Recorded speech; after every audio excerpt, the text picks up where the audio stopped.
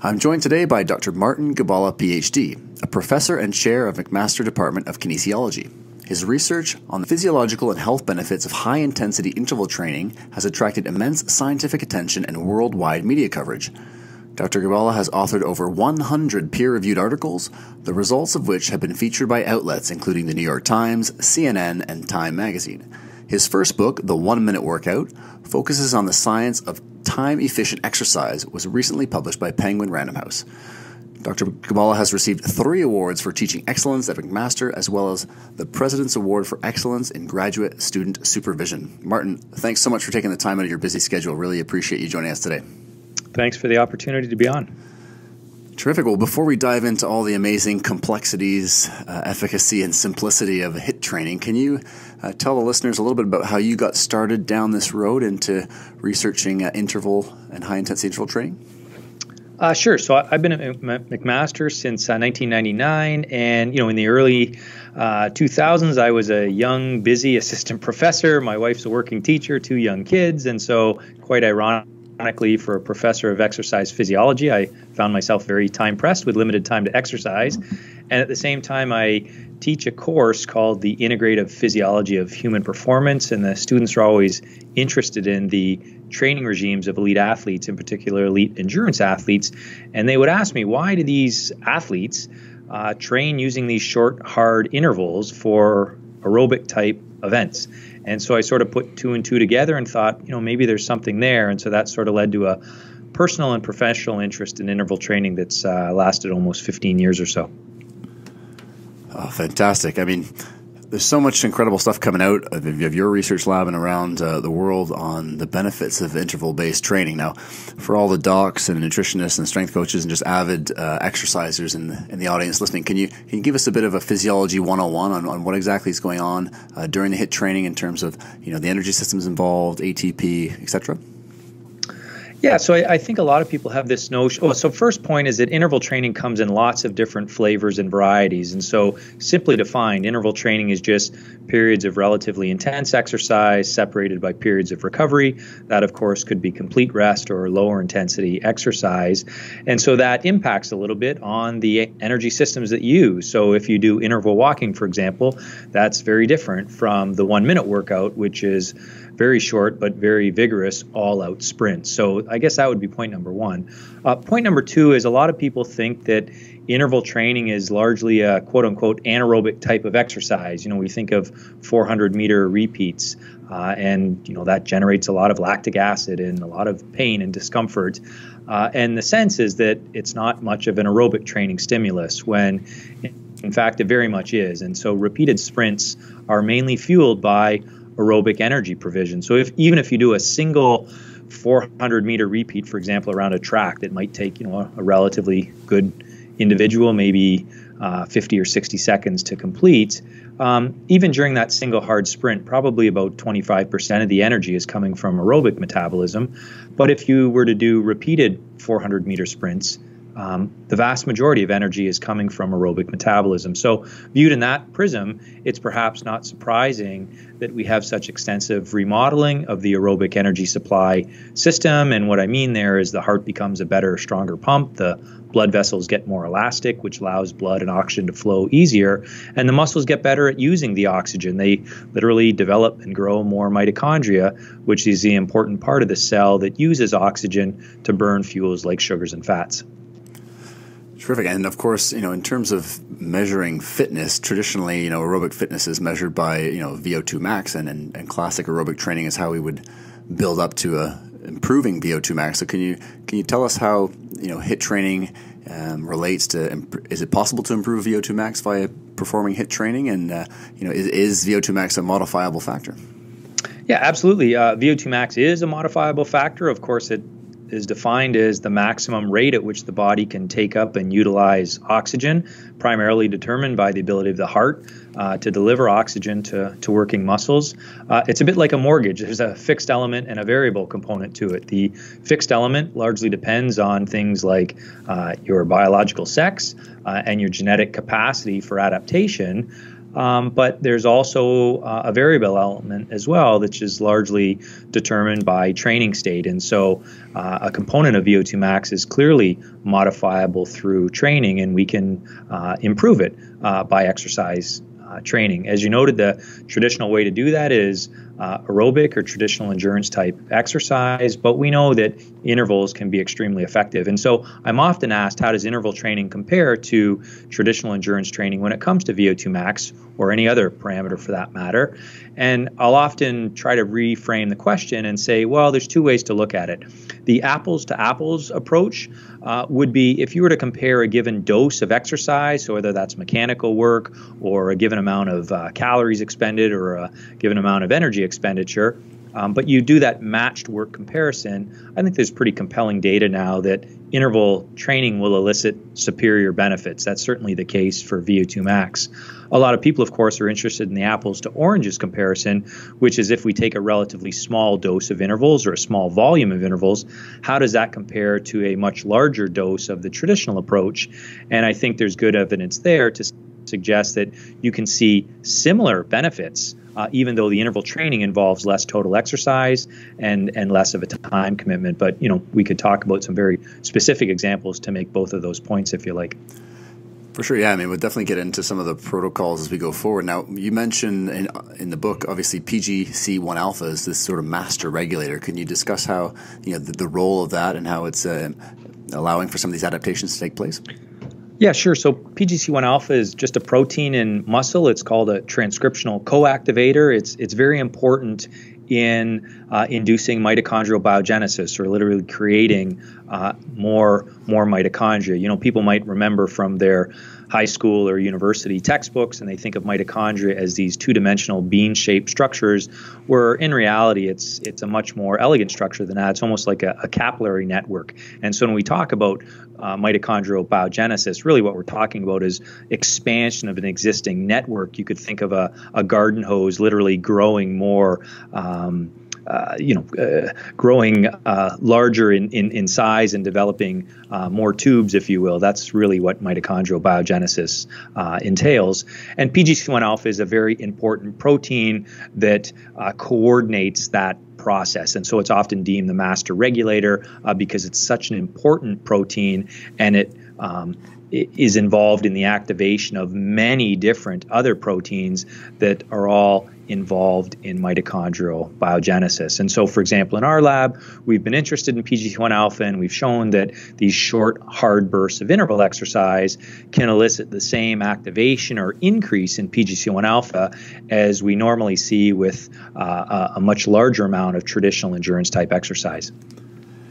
And that's uh, obviously a major point in this whole story is the idea that in, in, far less time we can induce some incredible adaptations, whether for the average folk trying to improve their health or even in you know athletes. And you know in your book you mentioned the evolutionary context, and I recently had uh, Dr. Stefan Guyenet on, who's a neuroscientist and obesity expert, he mentioned how we're sort of driven, the body and brain are driven to seek out calorically dense foods. And of course, in your book, you mentioned the Harvard paleoanthropologist Dr. Daniel Lieberman, who also describes this idea of you know humans evolving to avoid exercise. And I know a lot of people say, well, I just don't like longer bouts of exercise. And of course, it seems like this could be just an inherent um, evolutionary adaptation, no? To want to conserve? Uh, yeah, it could be. You know, it was uh, also pointed out by uh, Alan Batterham, who we um, interviewed for the book, who's uh, an exercise physiologist at Teesside University in the UK. And, uh, you know, Alan made the um, insightful point that there's no real biological drive to exercise, not like, for example, a biological drive to consume food or to have sex, for example. Uh, there's not that seeming innate biological drive to demand that we be uh, physically active. And, and so, you know, given um, our Western society today and how we've largely tried to engineer physical activity out of our lives, we're, we're seeing the manifestations uh, of, of that. But I, I think there's certainly some important evolutionary principles at, at play, you know, to, to draw the con to that. Um, maybe one of the reasons that some people uh, might like interval training more is it resembles more natural play. So if you watch children in a playground, they don't sort of jog in place for 45 minutes at a moderate pace. They run and hop and skip and jump. And so there's a, a school of thought from behavioral perspective that, at least for some people, they might enjoy this type of exercise more because it more resembles natural play. Absolutely. I mean, I know a lot of clients, even just the term exercise isn't isn't a motivating thing for a lot of them. It can be almost a scary thing if they're overweight or uh, high blood sugars, pre-diabetic, etc. So that concept of play is uh, is is really really key.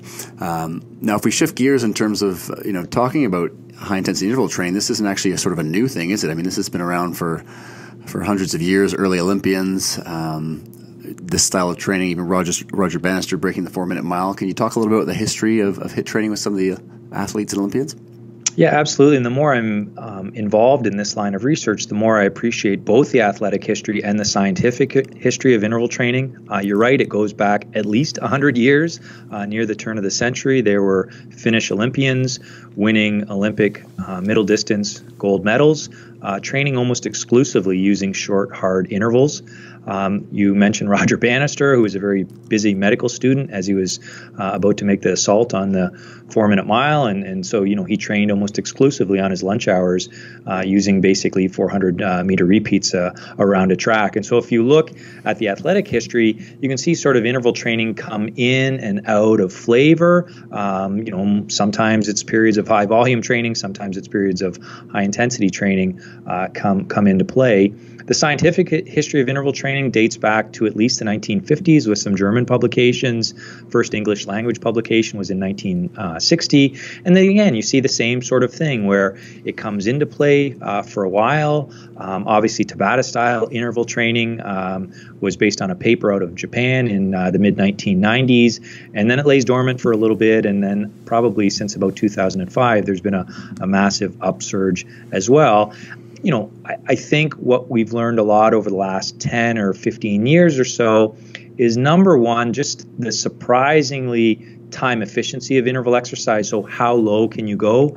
Uh, and the idea that if you're willing and able to do these very short, very hard bursts of exercise, uh, you can see adaptations with a very surprising small volume of exercise. That'd be point number one.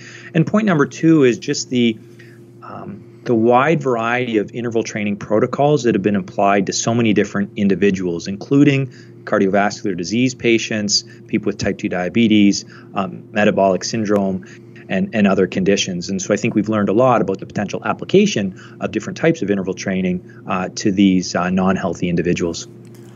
Yeah, it's incredible. I mean, as a boots on the ground clinician here, diet and exercise for me are sort of fundamental components of my practice. And, you know, in your book, I love the quote. You say, you know, we spend billions of dollars a year on research to create pills that improve health. Most of the pills ta- target one area of health and have unwanted side effects. Meanwhile, the most powerful intervention possible, which is exercise, goes comparatively unutilized. And I, I think that's definitely rings true with a lot of the clients that I see in terms of uh, being able to dovetail in and drip feed in exercise and the the response you get when people realize that they don't need this huge dose of exercise. So, could you speak? You mentioned there a little bit in terms of uh, the impacts on heart. I know the Copenhagen Heart Study was was pretty influential there, and also on uh, hyperinsulinemias and diabetes.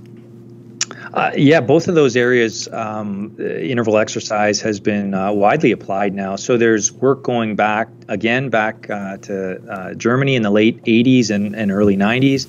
Uh, there was a medical doctor there named uh, Katharina Meyer who is employing uh, intense interval exercise. And when I say intense interval exercise, we're talking one minute repeats at a heart rate of about 90% of maximum in a cardiac rehabilitation uh, setting. And over time, that work has continued. There's a lot of work uh, being done in Norway now using a, a, protocol that we call the Norwegian, uh, which is just four four minute bursts of uh, effort, again at about 90, 85 or 90% of, of maximal heart rate in a cardiac rehabilitation setting. Uh, we've done some small proof of principle studies on individuals with diabetes. So these would be obese individuals in their 60s uh, performing exercise at about 90% of maximal heart rate. Um, and there was just a, a meta analysis that was published last year uh, that suggested that interval exercise is superior at improving uh, various indices of, of insulin uh, sensitivity. So, again, I don't think there's any question now that interval exercise can be applied to these populations and can be very effective. Uh, that's not to say that this type of training is for everyone. Um, you know, we're doing a study right now with uh, type 2 diabetics, uh, and obviously all of them undergo an exercise stress test before they're recruited into the study. And a few individuals are identified who are not suited uh, for vigorous exercise, or at least they're not industry cleared by the cardiologist because something shows up on the exercise stress test. So, you know, obviously you want to be smart. Uh, you want to see your physician before you start or change an exercise uh, regime. Um, but in the big picture, people don't need to be afraid of interval training. And I like to think that there's a, a flavor or a variety uh, that's suitable for just about anyone. Absolutely. I mean, you mentioned this idea of obviously intensity over duration being so key, and, and, what struck me with the Copenhagen Heart Study was the fact that people who walked a lot, we always assume, a, you know, getting lots of walking in and movement is something that I encourage, and generally we encourage people to do. Um, but of course, as, as, you get towards the top of that bell curve, you know, it doesn't seem like more is better from what we see in, in the study here in terms of the intensity, the speed at which people are walking is actually a, a much better predictor. Uh, you're right. And so, you know, big picture, of course, getting people moving is important. And so, if, if people are already walking, good on you, fantastic, because I think that's half the battle is just getting people doing some sort of physical activity. And that's, of course, where we see the greatest reduction in mortality risk and cardiovascular disease risk. But if you're already being active, then I think it's important to push the pace once in a while. Uh, there's a randomized, small, but uh, randomized clinical trial out of Denmark that looked at interval walking compared to continuous steady state walking. In both groups, it was relatively gentle interval exercise. The peak heart rates were around 66% of maximum on average. But what that study clearly showed was that interval walking was superior to continuous steady state walking in terms of boosting cardiorespiratory fitness uh, reducing blood fat uh, and uh, body fat, and importantly, improving blood sugar over 24 hours. And so the very simple practical takeaway there was uh, if you're doing walking, that's great, but uh, interval walking is probably better in terms of the benefits that it can be uh, induced. Yeah, again, it's incredible. With um, you know, in America, one out of two people are pre-diabetic or diabetic. In Canada, we're not too far behind, um, and so it's amazing. Uh, it seems like this should just be first-line therapy um, in terms of education at medical schools and whatnot, in terms of exercise uh, interventions, because it's such wide-ranging in terms of heart and, and, and blood sugar response.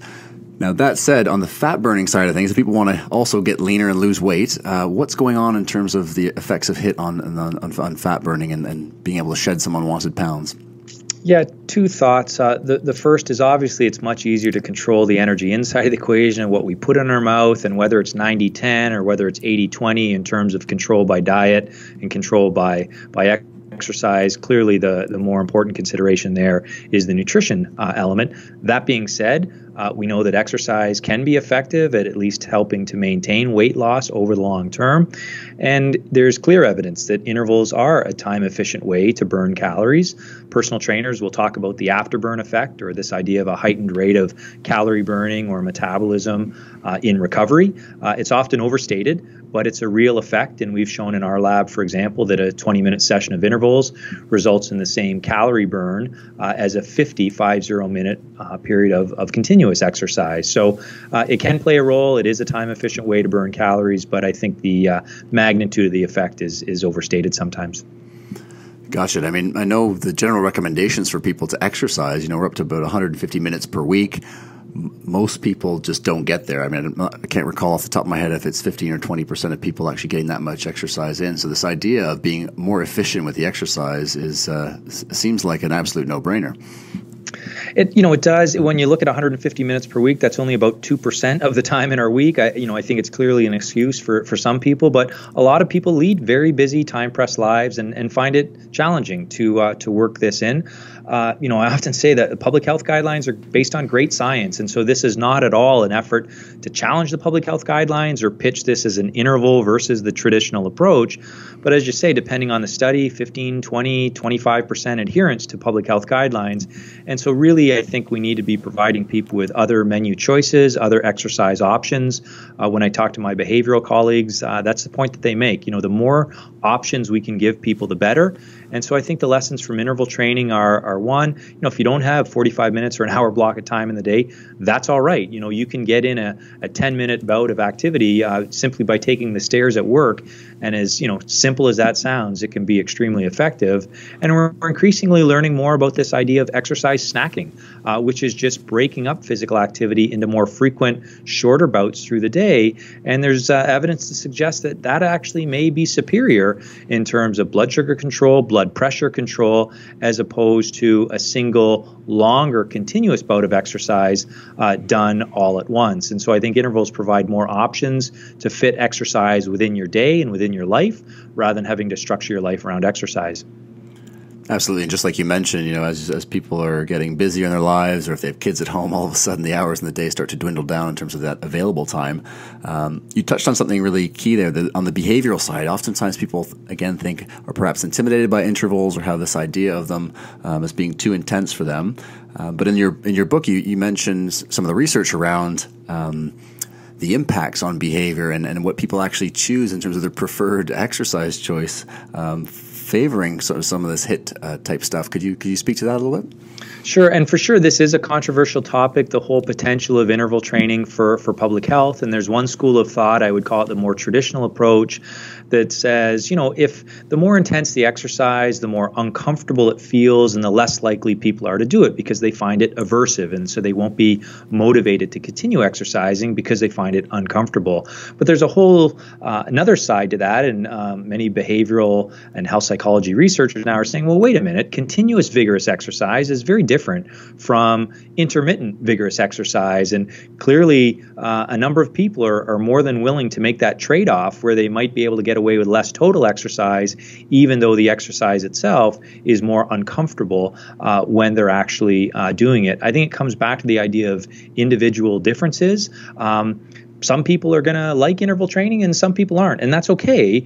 But rather than tell people there's only one approach and that's the traditional 150 minutes of continuous exercise again let's p- give people more more options to choose from uh, because we just have to look at those adherence guidelines and right now they're they're they're pretty poor. Uh, and so if we can even find, you know, 5 or 10% of individuals who might prefer and be more likely to adopt interval training, you know, you do the math in terms of healthcare savings and public health uh, savings, and, and it's enormous. Yeah, 100%. I mean, definitely in clinical practice, when I start using some of these approaches with my clients who are, you know, unfit, out of shape, even those who are fit, I mean, it's just people are surprised at how much gains that they can make with with limited um, minimal effort or time investment. So that's a it's a massive massive piece. And and of course this brings us to the question all about protocols. What people want to know what kind of routines or things to to introduce into their exercise regimes. Can you can you walk us through sort of some of the initial if someone is let's say more you know out of shape, overweight, um, you know where would a place to start for them in terms of interval training? Yeah, I talked about that beginner workout earlier, which is really just this idea of interval walking. That's a great place to start. And and so, you know, it's a very simple message, but if your only exercise is walking around the block, that's basically picking up the pace for a few light posts and then backing off and and just getting out of your comfort zone, you know, based on perceived exertion. You don't have to be sprinting by any means, just picking up the pace a little bit. So maybe it's a little harder to talk to your exercise uh, partner. You can feel you're uh, a little bit more out of breath, maybe your heart rate's up uh, a little bit. Just get out of your comfort comfort zone and then back off. And that's a really easy way to start. Um, of course, you know, there's lots of fitness apps and things like that now. People can really dial it in in terms of trying to measure percentages of maximal heart rate. But uh, we're big on just perceived exertion. And so in the book, we try to anchor all of the workouts to uh, a very simple uh, 1 to 10 scale, which is you know based on some classic research by a fellow named uh, Borg. Your, some of your listeners, I'm sure, are familiar with the, the Borg perceived exertion scale, where this idea of 1 is a very easy or resting pace, 10 is all out maximum, like you might sprint to save your child from an oncoming car. And so interval walking might be around a 3 out of 10. That's the type of, of pace that you might demand. Uh, and then in the book, we basically lay out a series of workouts. Uh, the 10 by 1, for example, that's that one minute relatively intense pace and then a minute of recovery. Maybe that's done at a five out of six out of 10. And then, of course, you work up to these more intense flavors where you're really going hard or trying to come close to a 10 out of 10, but maybe only for about 20 seconds at a time. So you can really scale these workouts, I think, to any starting level of fitness and based on our own uh, perception of effort. And in terms of the workouts themselves, there's a lot of variety, correct? You in terms of using a bike or, or running or, or rowing, you can, um, you know, the flavor or the variety is really up to the individual, right? Yeah, I think for you know big picture, you're you know there's a, a, a, saying that your heart doesn't know what your muscles are doing. So from a cardiovascular conditioning standpoint, I don't think it matters whether you're doing running, cycling, stair climbing, swimming, rowing, elliptical. Uh, again, find an exercise that you like and enjoy because you're more likely to to stick with it. Um, and you know if you're someone who is uh, over overweight, maybe you're older, might be some musculoskeletal or joint or impact issues that you're worried about, uh, then of course less weight bearing activities are going to be more suited for you. Maybe recumbent cycling uh, as opposed to uh, stair climbing or, or, or, certainly on the flat running. So uh, from a cardiovascular conditioning standpoint, I really don't think it matters.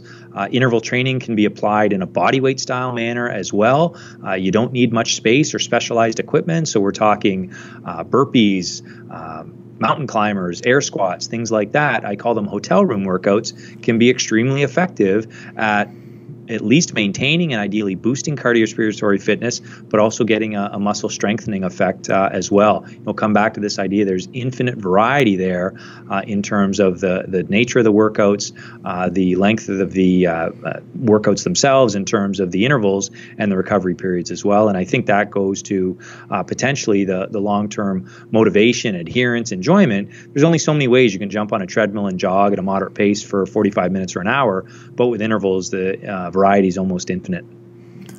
Absolutely, and you know, for yourself, if you're traveling or at home, are there any um, you know favorite routines or ones that you tend to fall back on that uh, that you find effective and enjoyable?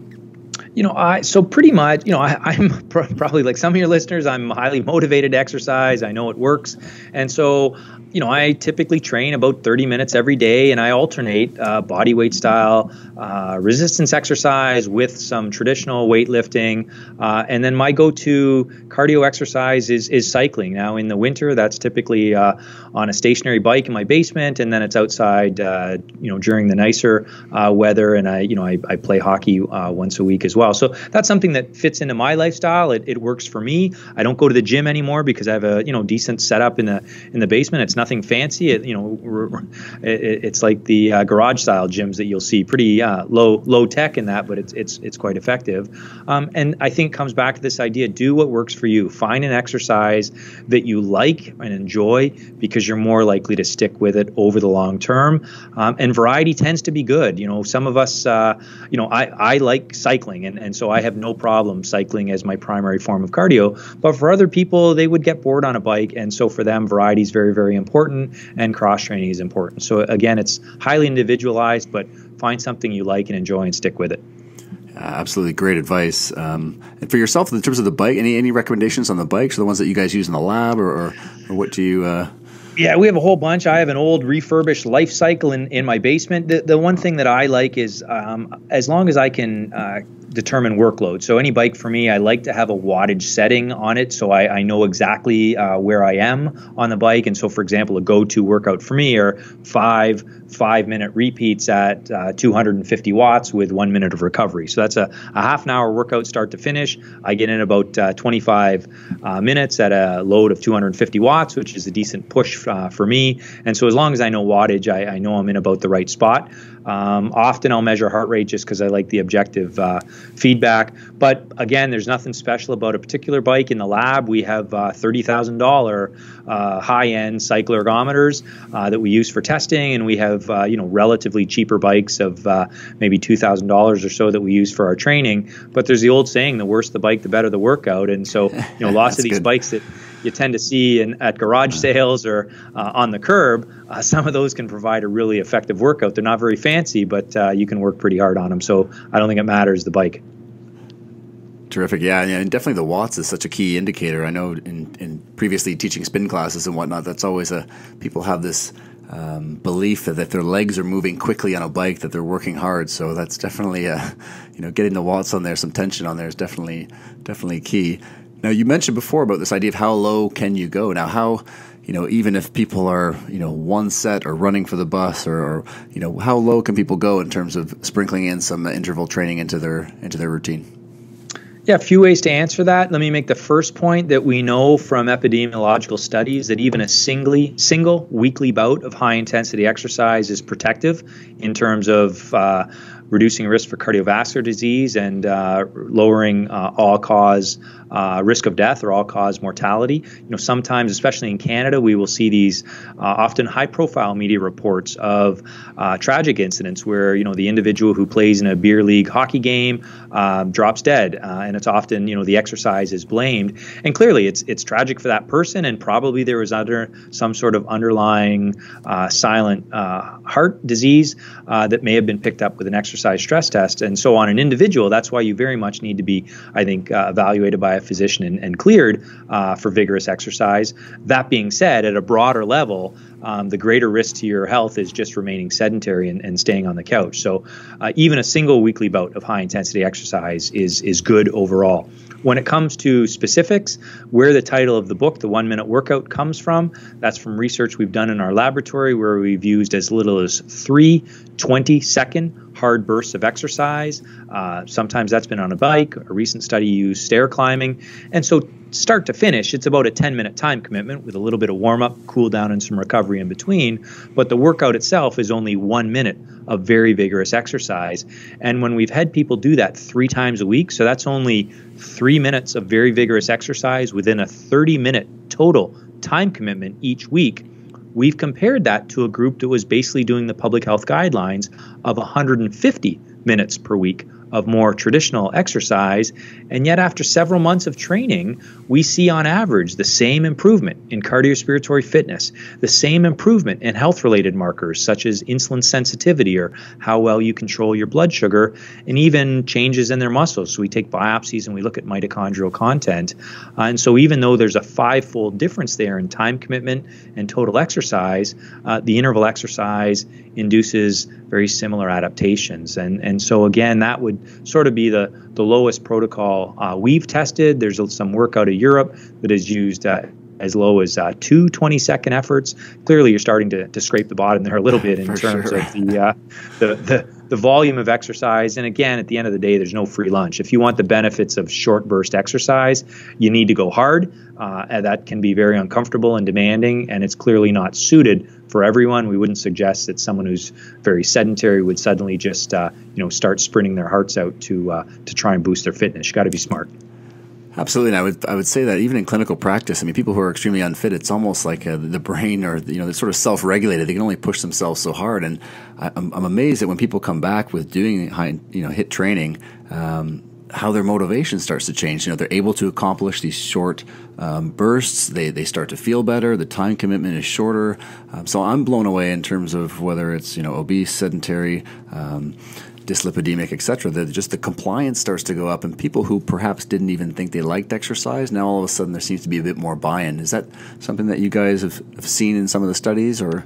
Yeah, I, I, think so. And you know, going back to the psychology of it, and again, I'm not a psychologist, but I, I ref, you know, we talked to a few experts in the book, including Dr. Mary Jung, who's out at UBC, and you know, she makes the insightful point that let, let's reframe the message here. For a lot of people, if they can't do continuous exercise, even at relatively low intensity, for half an hour, uh, they feel like a failure. They're like, oh my God, I can't even get that. But Mary's point is, wait a minute, uh, do some exercise, take a break, and and repeat it. You know, suddenly celebrate yourself for being an interval trainer and going back to the classic um, cardiac rehabilitation uh, work. Uh, it was recognized that the capacity of these individuals to do sustained continuous exercise is very very low, and so just getting through their activities of daily living, it's basically interval exercise. They will walk for a little bit and then huff and puff take a break and then they'll they'll do it again so sometimes it's this idea of reframing the message and how we how we look at things and you're right. One thing with interval training, it boosts fitness relatively quickly. And so there's a school of thought that if you get that rapid boost in cardiorespiratory fitness, perhaps then other types of exercise are deemed less unpleasant. And you might be more um, motivated, for example, to take the stairs at work because you're feeling better about yourself because you've got that quick boost in your fitness. Absolutely. And you mentioned in your book as well this, uh, you know, HIIT's ability on the longevity side, this what we call the exercise factor, the myokines, exerkines. Mark Tarnopolsky's work there at McMaster as well. Can you can you touch base on that? Because I know a lot of my clients uh, are very interested on this sort of longevity side of things with HIIT training.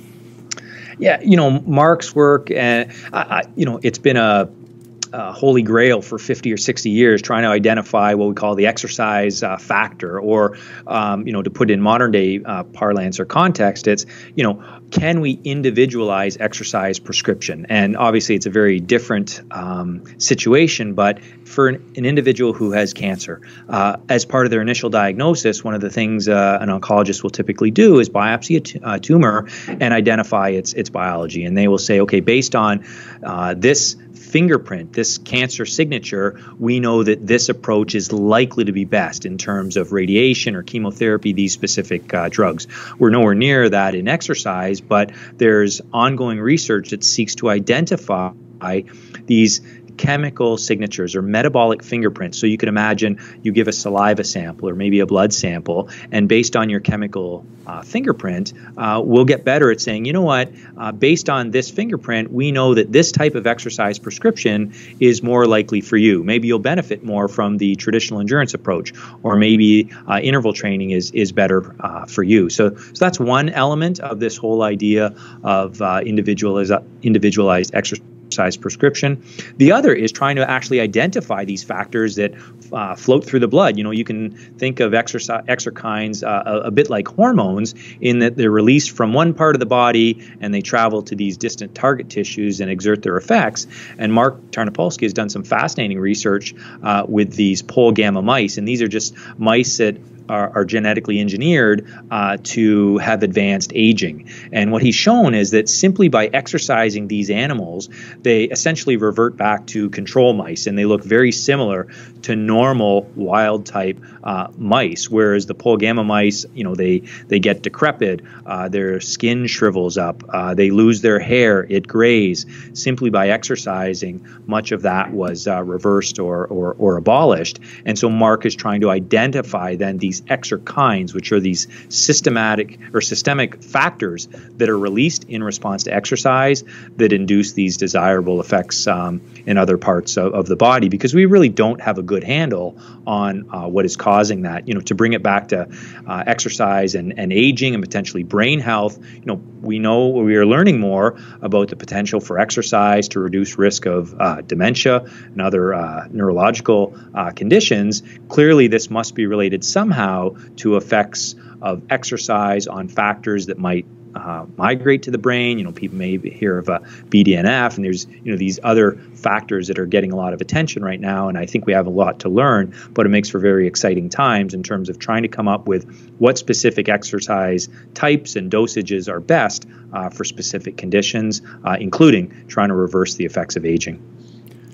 Yeah, I mean, it sounds like obviously the movement towards personalized medicine and personalized nutrition, this idea of personalized exercise, just uh, really fits the bill in terms of being able to provide some efficiency with getting people to their goals uh, in the, the, quickest possible route. So, shifting gears just a little bit here, we have a lot of more you know elite athletes or weekend warriors really pushing themselves who might. Uh, you know, when they engage in interval training, are probably pushing it to that nth degree. Now, on the overtraining side of things, or pushing themselves, overreaching, are there any um, you know blood markers that in a, in a, clinical setting that you would you would look at in terms of being able to assess if athletes are are getting into that uh, that red zone?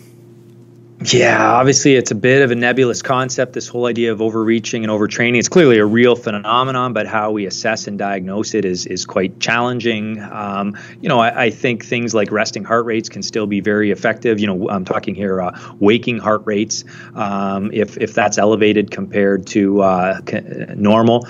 Uh, I think as a practical standpoint, that's probably one of the best markers. You know, I think you can do some hand waving around some markers like glutamine and things like that, but I, I don't think there's strong evidence uh, for for that. You know, sometimes people say, well, uh, high intensity interval training it's going to induce overtraining. Personally, I think overtraining is more related to total volume as opposed to intensity uh, per se.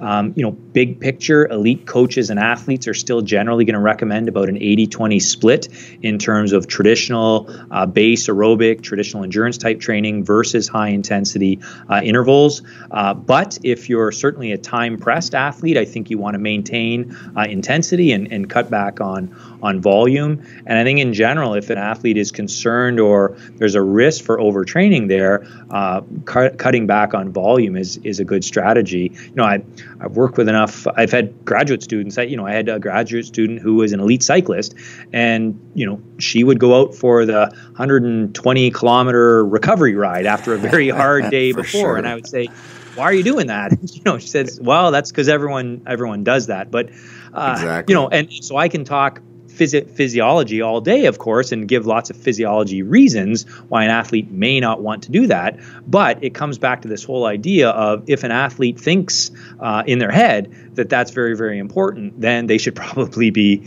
be doing that. And you know, there's there's classic there's a classic study out of Dave Costill's lab from Ball State, who is uh, a very good exercise physiologist and an elite masters uh, swim coach, and he had athletes one year because uh, swimmers obviously are you know notorious for very high volume training despite these very short events typically.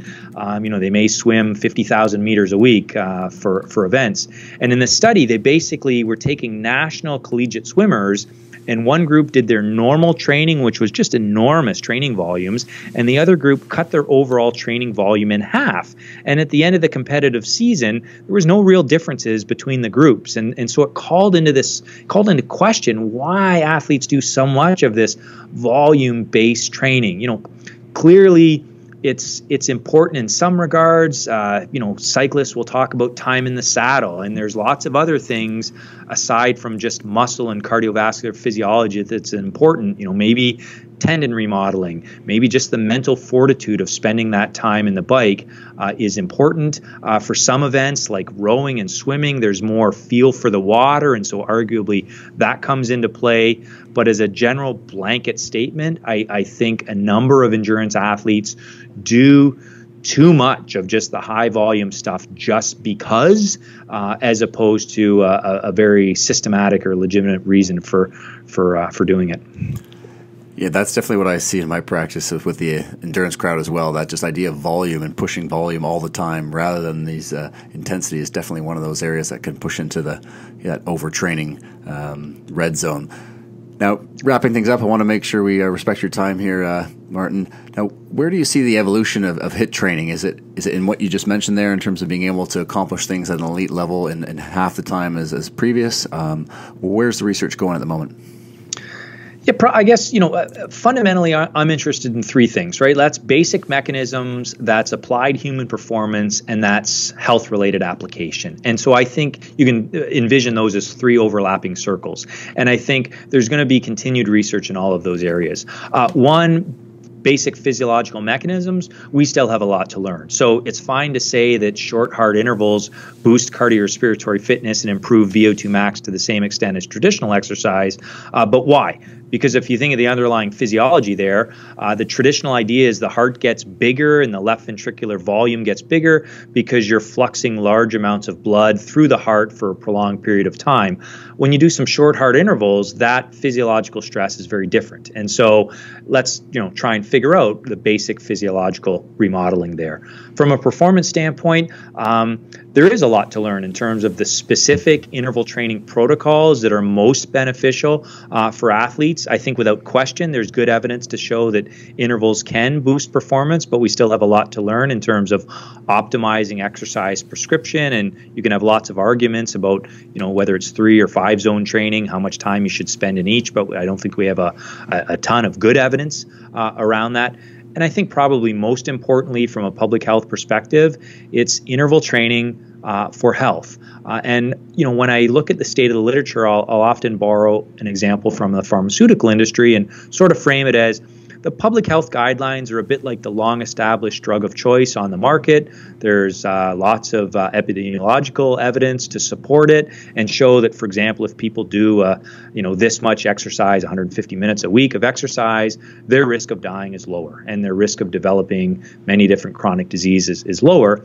And I'm often asked, you know, why isn't why aren't intervals in the public health guidelines? And the simple answer is we don't have the evidence that we would need uh, to get them there. You know, there are no large-scale randomized clinical trials showing that when people do this type of interval exercise, uh, they die less or they die less compared to the traditional uh, approach. And so, coming back to that pharmaceutical analogy, I, th- I think there's lots of uh, emerging evidence uh, showing that you know interval exercise is very uh, effective in these early phase trials, but we really need these larger scale, randomized clinical trials to make systematic head to head comparisons in large groups of people with very robust health outcome uh, markers uh, over different uh, ages. I think the, uh, the research will move uh, in, in, in that direction, and that will be extremely beneficial in terms of trying to you know, give some perspective to the best types of interval approaches for specific conditions uh, at uh, at various age points.